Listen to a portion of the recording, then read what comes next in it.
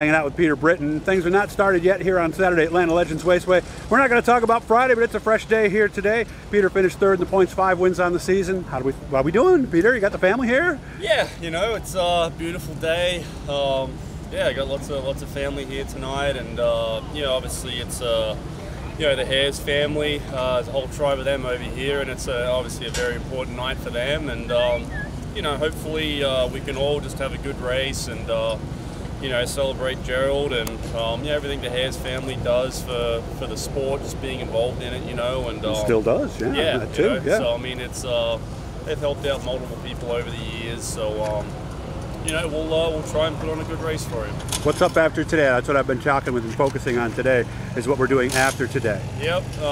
Funny, you know, people are like, oh, the season's gonna be winding down now, right? I'm like, Not really. "Oh, actually, yeah, pretty busy. Yeah. It's, uh, Was Albany next week? yeah, so next week we got uh, Friday, Saturday in Albany. Um, Obviously then, done uh, well this year.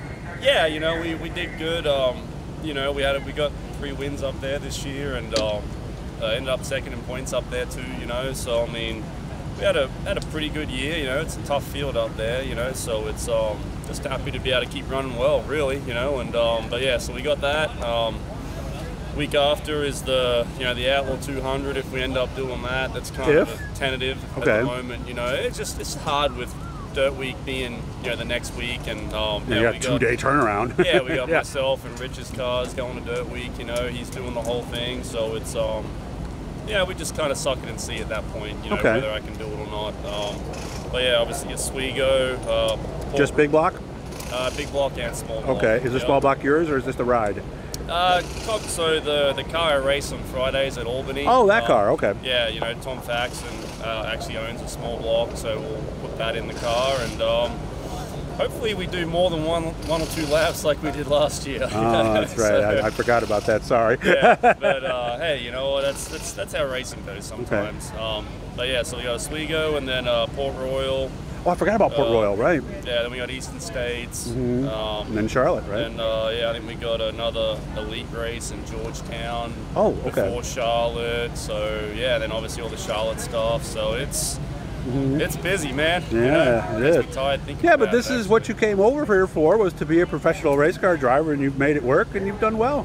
Thank you, appreciate that. Yeah, um, it- yeah. I mean, I, I live for this, you know. Yeah. So I'm not saying I don't want to do it, you know. It No, but there's uh, moments when it gets a little busy where you're like, Oh, yeah, I could use a rain out tonight, right? if there's one person in this pits that tells you they never thought about selling everything and leaving the sport, then uh, they're lying, you know. Yeah. But, uh, we we had those moments, but overall, a couple just, of them right here, if I remember correctly, yeah, right? yeah. Jump one jumped out of gear, and what was the second thing that happened? Uh, I just got a flat tire while That's right. next week. Yeah. You know. So I mean, it's this this sport can be very trying sometimes. Very humbling too. Very humbling, yeah. But you know, you, you meet a lot of good people uh, in this sport. You know, whether it be fans or, or Mm-hmm. Yeah. competitors or you know commentators and anyone involved in, in racing seems to be uh, you know cut from a better breed. I feel we like, all you know, share the passion, and we all find different ways to, to be involved in it. And Yeah, uh, there, there's some wacky people in the world, you know, and I, Yeah, I feel I like, like the if, wacky if they had a race car to work on, they wouldn't be quite so wacky. That's know? true. But, but of course, like look at a lot of these guys who aren't professionals.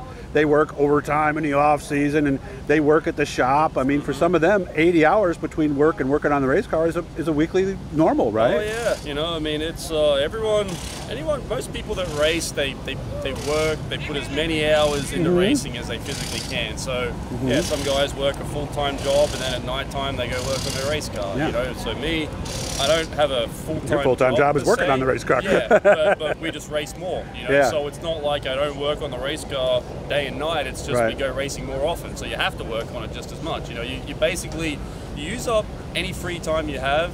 And you know, in, in, obviously, uh, yeah, I have my six-year-old daughter here, Addison, and Who is not as bashful as she used to be, I noticed. Yeah, wants to get on camera she, this she time. wants to be in on it. Yeah, yeah. but um, well, you got a mic rod. You can do a mic rod and get her going, right? yeah, I mean, I. We'll- we'll- we'll Okay. see. It's- we'll, uh, Bro, Who would be more nervous, you or mom? Oh, definitely mom. Oh, okay, you'd be fine with it. I'd okay. fine. I have mean, seen other families where it's the other way around, where the dad who raced is like, I don't know if I really want her Yeah. doing this. Yeah, I mean, I, I feel like at some point she's going to test the waters, you know, Yeah. and, want to do something. I mean, I, I, I don't feel the need to push her into it straight No, away, you know. no, Um, no, no. Yeah, we'll mess around the house. I'll get her to drive a four wheeler Okay. around the house. And like when I was, I didn't actually start racing until I was 15. I didn't know? realize that. Okay. And um, started in a four cylinder and. You know, we used to, you know, when I was 13, 14, we would actually, uh, you know, just drive a four cylinder around the backyard. Like had- field cars, had- yeah. Yeah, we Mhm. had like five acres just weaving in and out of the trees, you know. And Fix them when they broke, yeah, right? All as. I started uh, tearing up the yard more, uh, that, that was when we started racing because like, all right, we're sick of you tearing up the yard. Let's let's go take this thing to a racetrack, see what happens. You know. Well, I hope So, it's a good night for you tonight. Appreciate you making time. He was eating dinner when I got there, so I do appreciate it. Good luck with everything, man. And now maybe I'll see you down trackside later, okay? Thank you. Yeah. Hopefully we'll be down there. Thanks, Peter.